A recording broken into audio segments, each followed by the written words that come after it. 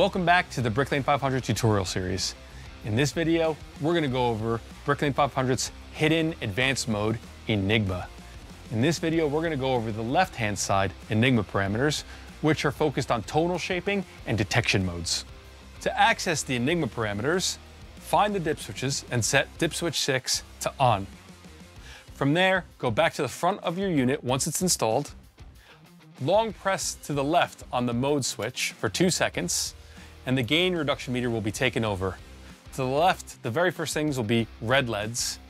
And from here, you can cycle through the menus by going left, and you can change values by pressing to the right.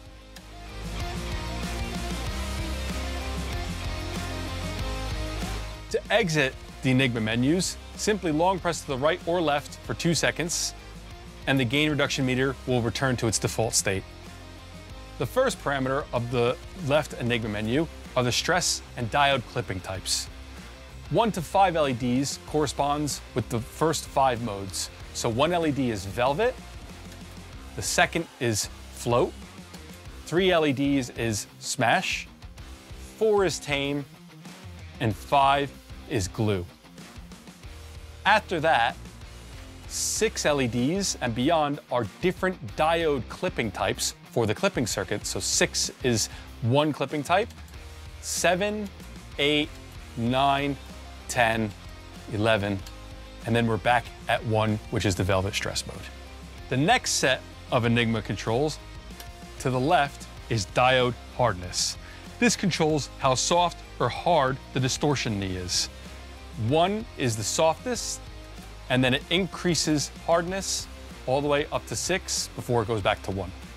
The next option in the left parameter menus of the Enigma mode is the phase and crossover modes of the stress circuit. These are done per mode. This allows you to change whether you want phase linearity or frequency linearity, and it will also select different phase relationships between the stress and the compression circuit. The first LED is with the crossover engaged and with a direct phase correlation. If I press it to the right, now with two LEDs, this inverts the phase of the stress. This is very good for parallel compression. Three LEDs will disable the crossovers, so it will be less frequency linear, but more phase linear. Three LEDs will have a direct phase correlation between the stress and the compression circuit. And if I press one more time to have four LEDs, this will now invert the phase of the stress. Again, very good for parallel compression. The next left Enigma parameter is the sidechain high frequency emphasis which is the magenta LED.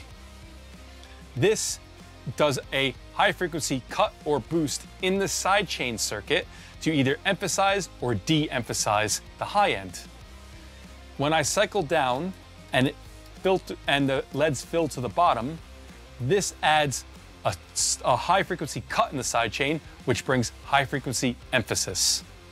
Once I've gone to the max value and I press it one more time, now it will go to the de-emphasis, which is a sidechain boost in the high frequencies, the four LEDs being the most de-emphasis, and then reducing until you're back at no emphasis and no de-emphasis. The next left Enigma parameter are the detector modes with the cyan LED.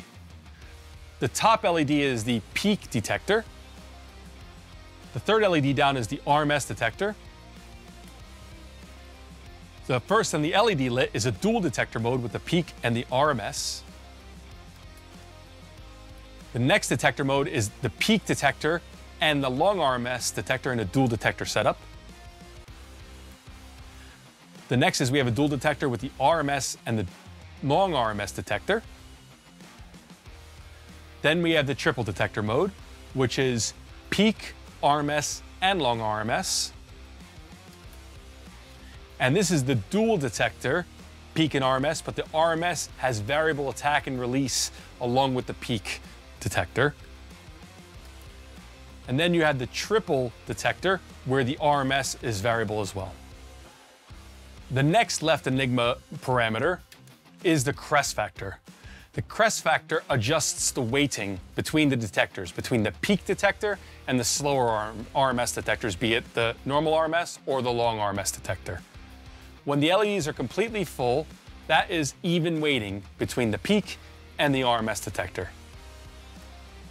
Once I select down, now it's weighted heavily towards the slower detectors. And then as I increase this, it will weight more evenly towards the peak detector. This allows you to balance between whether you want very fast release and very fast punchy compression or longer sustain, more gentler release behavior. The last left Enigma parameter are the sidechain linking frequencies. This is the same as they are when the Enigma mode is not engaged. Again, you have seven choices of your linking modes to decide how you want the stereo sidechain linking behavior to act. So those are the left side Enigma parameters, which focus on detector behavior and on tonal shaping. In the next video, we'll focus on the right side of Enigma parameters, which focuses on the dynamics, timing, and response.